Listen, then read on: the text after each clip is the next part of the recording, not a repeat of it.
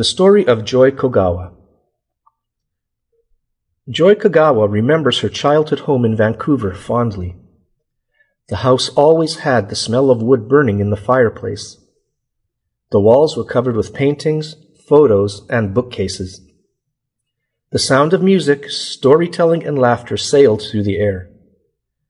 Her bedroom had toy boxes filled with cars, dolls, and games.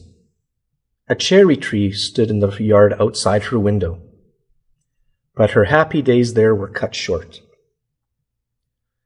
In 1941, a warplane from Japan dropped a bomb on the United States. Canada went to war with Japan. The Prime Minister of Canada thought that Japanese Canadians might be spies, so he had all Japanese Canadians taken from their homes. They were sent to live and work in camps. To pay for the camps, their homes and belongings were sold. Most of the people sent to the camps were born in Canada. Half of them were under the age of 19. Both the RCMP and the military agreed the Prime Minister's decision did not make sense. But the Prime Minister did it anyway. He wanted Canada to be mostly for white people. He hoped the Japanese Canadians would just go back to Japan. Joy Kogawa was just six years old when her family was forced from their home. They were put on a train and shipped to a camp in Slocan, British Columbia. The family had to live in a one room shack. It was a heat trap in the summer and an icebox in the winter. Her family was forced to work on a farm.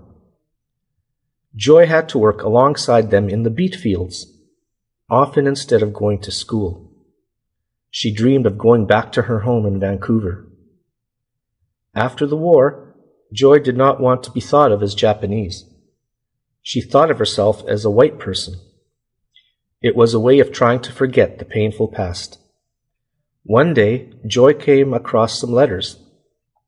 They were written by a Japanese Canadian woman from Vancouver and sent to her brother in Toronto.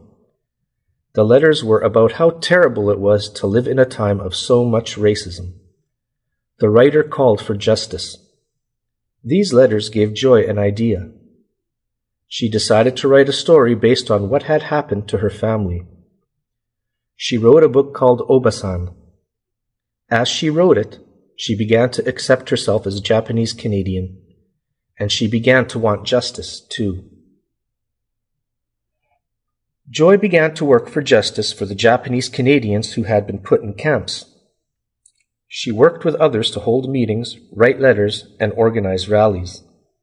Her book, Obasan, helped people across Canada to understand the terrible things that had happened. Finally, in 1988, the federal government said it was sorry for what had happened.